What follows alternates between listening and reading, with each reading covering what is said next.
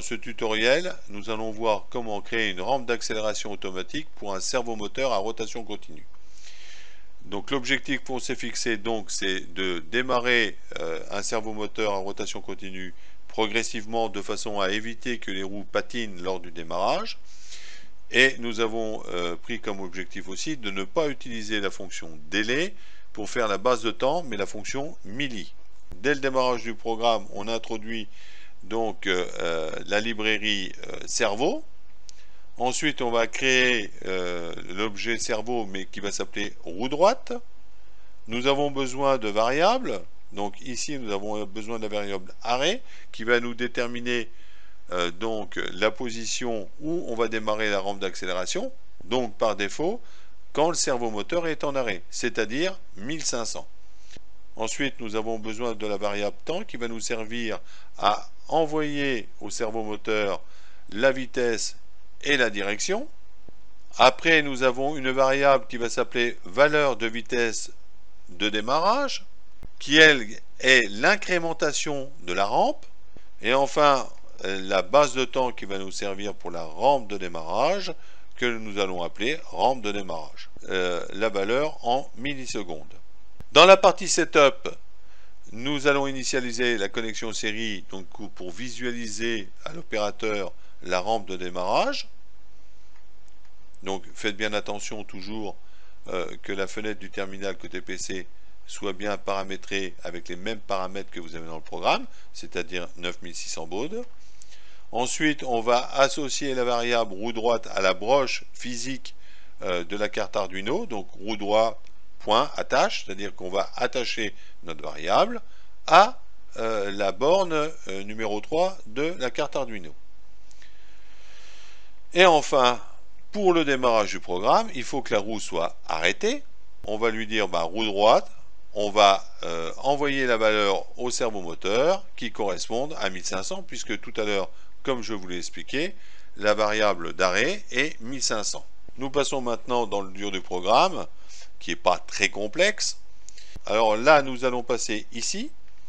Donc toutes les 100 millisecondes, nous allons avoir une incrémentation qui va se faire dans ce petit bout de programme. Et il faut absolument que la valeur de vitesse de démarrage soit inférieure à 100. C'est-à-dire que c'est la valeur max de l'injection euh, de signal que nous allons envoyer au servomoteur pour la vitesse max. Donc là, on incrémente notre valeur de vitesse de démarrage, ici. Hein, on prend la variable, on incrémente. Donc là, on stipule à l'opérateur donc euh, la valeur de vitesse de démarrage, ici. Hein, donc la variable, ça c'est que du texte. Et ensuite, la valeur de la pente de démarrage. Et on va vous l'envoyer donc au moniteur série. Quand on arrive ici, on prend la valeur temps, valeur de vitesse de démarrage, c'est-à-dire qu'on prend la valeur qui est ici, on l'ajoute à notre valeur d'arrêt, c'est-à-dire imaginons que vous avez 1500, eh bien, on ajoute à chaque fois l'incrémentation. Donc on va faire 1501, 1502, 1503 et ainsi de suite sur cette partie-là.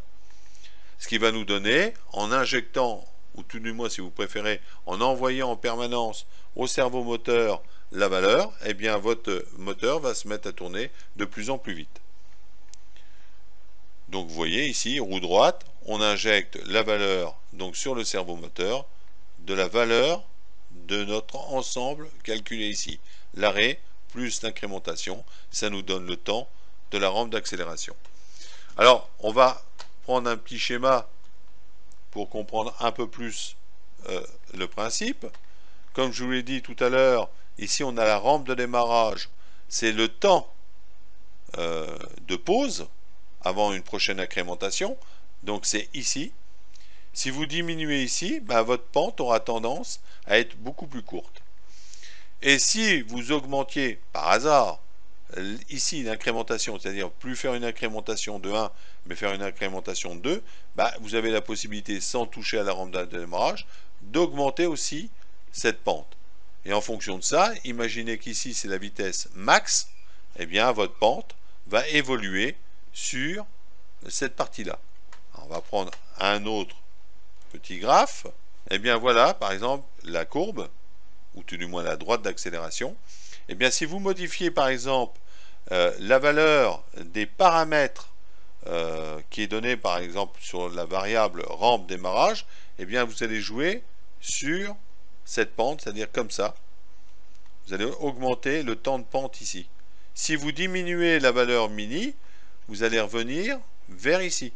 Vous allez diminuer le temps de rampe puisque l'incrémentation sera identique. Si vous diminuez votre rampe d'accélération, va fonctionner comme ça. Donc vous irez beaucoup plus vite au démarrage, vous aurez une rampe mais beaucoup plus abrupte. Alors que si vous augmentez votre rampe d'accélération, eh bien votre rampe, elle sera beaucoup plus longue.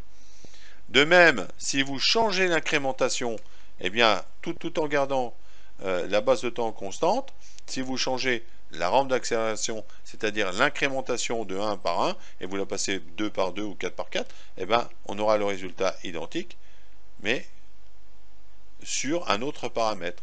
Mais on aura la même chose, voyez Mais toujours pour arriver à 100. Voilà.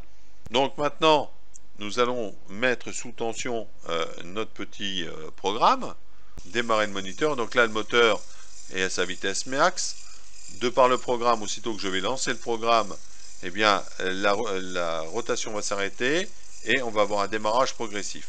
Nous allons essayer. Voilà. Regardez, l'incrémentation ici démarre. Vous pouvez voir simultanément le servomoteur se mettre en rampe d'accélération. Et voilà, nous avons obtenu une rampe de démarrage sur le servomoteur. Et chose importante, nous avons utilisé la fonction MILI, ce qui nous permet de ne pas arrêter le programme. Un petit récap sur le matériel, nous avons utilisé une carte Arduino Mega, mais la carte Uno aurait pu très bien faire l'affaire. Nous avons aussi utilisé une carte Grove pour les commodités de câblage et un servomoteur dont vous pouvez récupérer les références sur notre site Redome. J'espère que ce tuto vous sera utile. Et je vous dis donc au revoir et au prochain tuto.